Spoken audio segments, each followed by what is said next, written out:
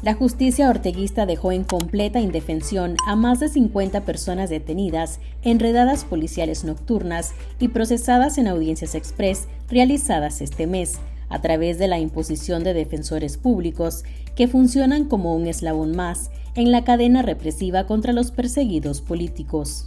El abogado y defensor de derechos humanos Juan Diego Barberena dijo que existe un patrón de violencia al derecho a la defensa, aunque con una modalidad distinta a la de otros presos políticos, porque estos perseguidos políticos deben firmar diariamente en un distrito policial.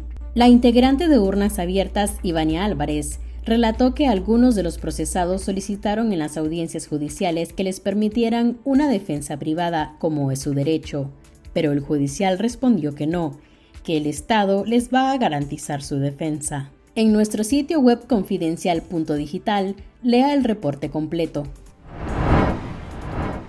El Ministerio de Gobernación canceló este jueves la personería jurídica de la Asociación Universidad Católica Inmaculada Concepción de las Arquidiócesis de Managua bajo la figura de disolución voluntaria. Aunque la cancelación fue solicitada por sus miembros sin explicar razones, el acuerdo de gobernación señala que esa casa de estudios al igual que la mayoría de los organismos sin fines de lucro cancelados, supuestamente estaba en incumplimiento de sus obligaciones desde 2015. Solo en el primer trimestre de 2023, un total de 30 organizaciones sin fines de lucro cerraron sus operaciones en Nicaragua de forma voluntaria, según un reporte de Confidencial.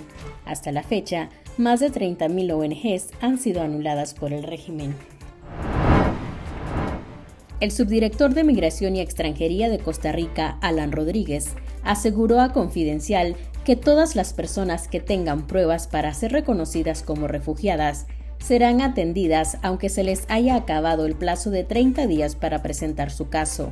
El gobierno de Rodrigo Chávez realizó cambios en la política migratoria costarricense que afecta a los solicitantes de refugio, en su mayoría nicaragüenses.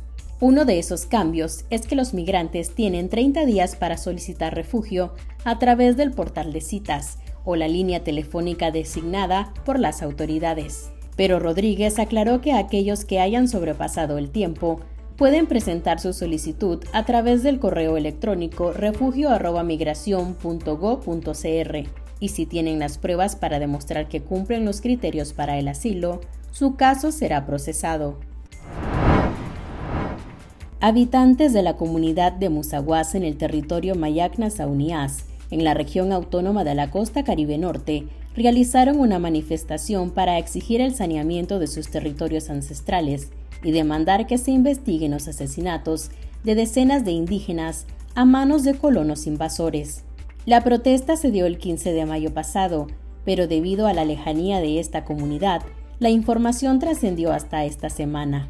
Imágenes compartidas por el Centro de Asistencia Legal a Pueblos Indígenas muestran a decenas de niños, jóvenes y adultos con pancartas en mano, exigiendo el cese del etnocidio y recordando al gobierno de Nicaragua su obligación constitucional e internacional de protección a las comunidades indígenas. El gobierno del presidente Joe Biden anunció este jueves que actualizó el proceso de revisión de solicitudes del programa de acogida para migrantes de Nicaragua, Cuba, Venezuela y Haití, debido a la gran cantidad de peticiones que ha recibido. El programa temporal conocido como Parole Humanitario otorga al mes 30.000 permisos de ingreso por avión a Estados Unidos a migrantes de esas cuatro naciones. Desde el miércoles el Servicio de Inmigración y Ciudadanía comenzó a seleccionar al azar a aproximadamente la mitad del total mensual de solicitudes, independientemente de la fecha de recepción, y la otra mitad del total mensual se revisará en función de cuándo se presentó la solicitud, dando prioridad a los casos más antiguos como se hacía anteriormente. El objetivo de este cambio es mantener una oportunidad significativa y equitativa para que todos los solicitantes puedan presentar su caso, señaló la agencia.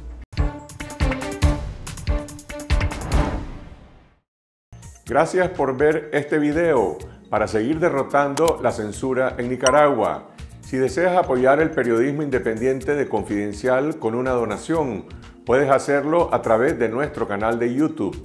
Lo único que tienes que hacer es ir al chat de nuestras transmisiones en vivo y dar clic en el botón Super Chat. Así podrás agregar tu comentario junto a un donativo. También puedes dar tu aporte en el video que más te guste haciendo clic en el botón de Super Thanks, ubicado en la barra inferior de todos nuestros videos.